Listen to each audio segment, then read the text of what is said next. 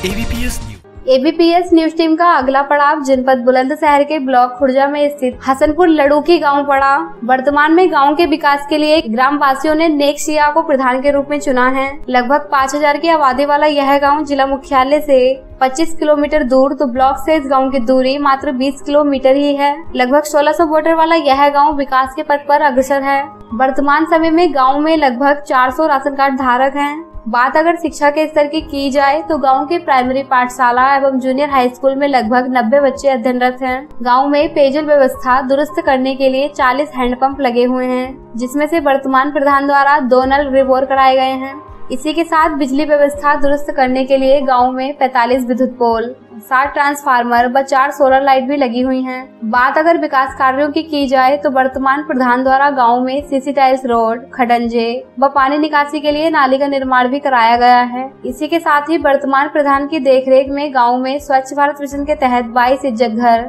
व एक लोहिया आवास का भी निर्माण कराया गया है एबीपीएस न्यूज़ टीम ऐसी बात करते हुए ग्राम प्रधान प्रतिनिधि ने गाँव में प्रधानमंत्री आवास स्वास्थ्य केंद्र शमशान घाट की बाउंड्री, पानी निकासी के लिए नाला सीसीटाइज रोड व खडंजे के निर्माण की मांग राज्य व केंद्र सरकार से की है। ग्राम प्रधान, ग्राम पंचायत हसनपुर लड़ूकी,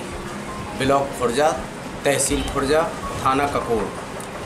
के ग्राम प्रधान पति बोल रहा हूँ सबसे पहले कि जो हमारी समाजवादी के तहत पेंशन बनी हुई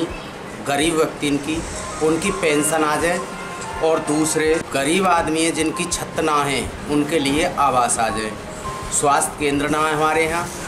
और स्कूल में हमारे में टीचर समय से नहीं आते हैं, उनकी देख रेख करते हैं तो मास्टर स्कूल में आने से रोक देते हैं और एफआईआर दर्ज कर देते हैं।